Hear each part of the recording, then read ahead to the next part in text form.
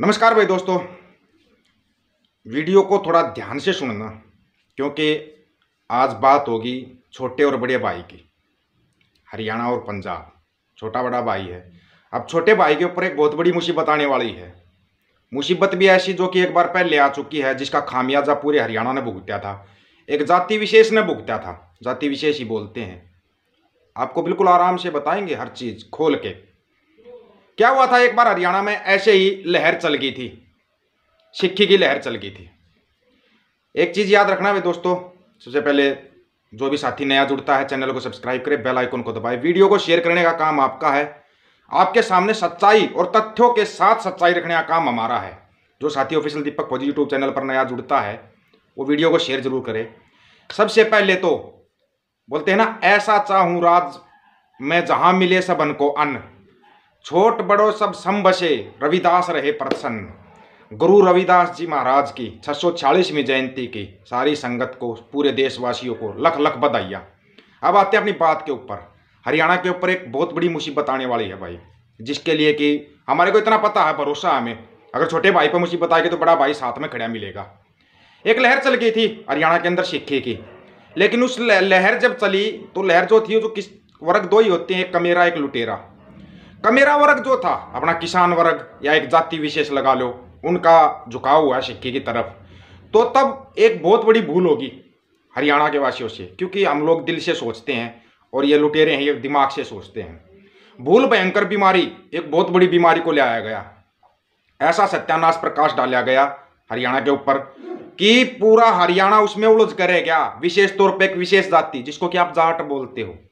और कमेरा वर्ग, किसान वर्ग, मजदूर वर्ग उस भूल भुलैया में उलझ करे क्या ऐसा उलझा कि वो उस तरफ़ से उस तरफ़ ना अपने सिख भाई थे, वो सिखी का वो प्रचार भी नहीं कर पाए और ना वो प्रचार हो पाया। जो चीज़ें सामने रखनी चाहिए थी, वो चीज़ रख ही नहीं पाए।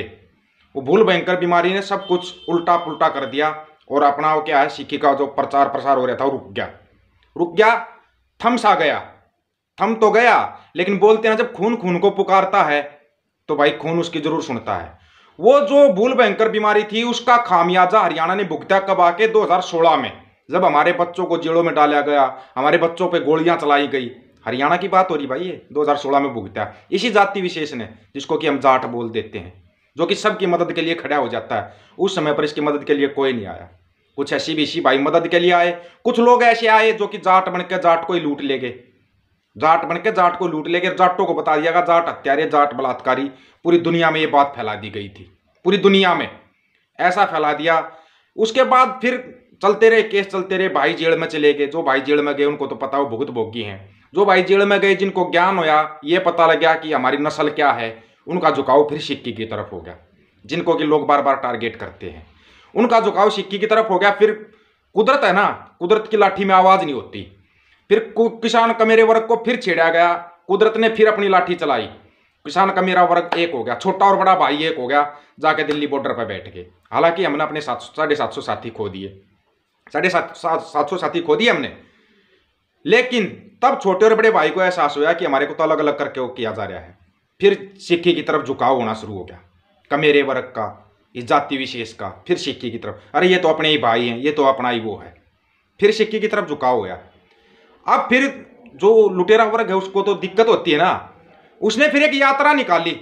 अब यात्रा शुरू हो रखी है, वो यात्रा यूपी में पहुँचे यूपी में तो उनको यूपी वाले भाइयों ने प्रसाद दे दिया। वही जाति विशेष वाले प्रसाद देते हैं। प्रसाद दे दिया जाति विशेष वालों ने।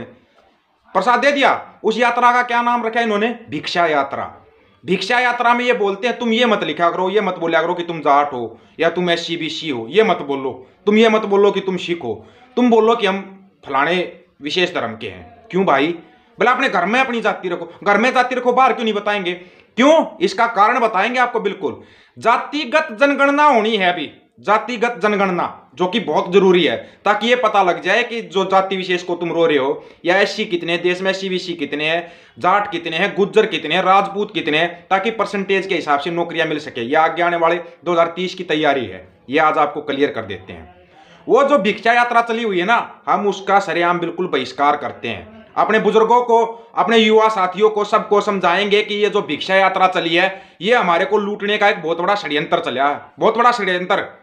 जो भी सत्यानाश प्रकाश पहले डाला गया था, जो भूल भयंकर बीमारी हमारे को पहले लगी थी, अब वो भयंकर बीमारी हमने अपने साथियों को नहीं लगने दी जाएगी। ये आप लोग बिल्कुल याद रखना। याद रखना हम नहीं कहते भाई हम किसी धर्म विशेष का या जाति विशेष का हम प्रचार प्रसार कर रहे हैं। लेकिन अगर अपने लिए आज नहीं बोले, बिहार में जातिगत जनगणना शुरू होगी, क्योंकि पूरे यादव एक साथ खड़े हो गए यादव एक साथ खड़े हो गए अब अपील करते हैं भाई, अपने एस सी भाई, अपना गुज्जर समाज, अपना जाट समाज, अपना राजपूत समाज अड़के खड़े हो जाओ कि हमें जातिगत जनगणना चाहिए। हमारी नौकरियों पर डाका डालने वाला कौन है? कौन है जो हमारी नौकरियों पर डाका डाल रहा है? एक तरफ़ तो जातियों के आधार पर नौकरियाँ निकाली जाती है, लेकिन फिर उनको जाति विशेष का वो बोल के उनको अलग कर दिया जाता है। हमारी नौकरियाँ जहाँ कहाँ पे रही है? और ये जाट और सिक्को लड़ाने वाले हैं कौन? अगर आपके सामने बिल्कुल सब कुछ खुल के ना आ जाए, फिर वो विशेष जाति भी आएगी। ये याद रखना, जो जाति विशेष लड़ाना चाहती है ना जाट और सिख को, देख रहे हो आप हरियाणा में जो चल रहा है, पूरा देख रहे होंगे ना? तो ये उस जाति विशेष का पूरा चेहरा आपके सामने आ जाएगा। हम इस भिक्षा यात्रा का बिल्कुल खुलेआम बहिष्कार करते हैं। जो ये भिक्षा यात्रा ये कहती है ना कि तुम ये मत बोलो हम जाट हैं, तुम ये ये मत बोलो हम गुज्जर हैं। नहीं भाई, बिल्कुल खुले दिल से बोलना चाहिए, आप जो हो। जिस जाति में आप पैदा हो गए अरे कर्म आधारित होती है जाति तो लेकिन एक जाति ऐसी है जो कर्म आधारित नहीं है। और जातियाँ लोग बदली, जाति बदली करके एक दूसरे को गालियाँ दे देते हैं। उनके भी चेहरे सामने आने लगे सोशल मीडिया पे। सोशल मीडिया पे चेहरे सामने आने लगे। इस वीडियो को आप ना कम से कम भी दो बार सुनोगे, तब आपकी समझ में आएगा किसके बारे में बोला गया और क्यों बोला गया है। दो बार सुनोगे, तब समझ में आएगा। अपने साथियों को सुना देना कि वो ऐसी कौन सी बीमारी आई थी जिस बीमारी के कारण पूरा हरियाणा बर्बाद हुआ। हरियाणा बर्बाद हुआ था भूल भयंकर बीमारी के कारण।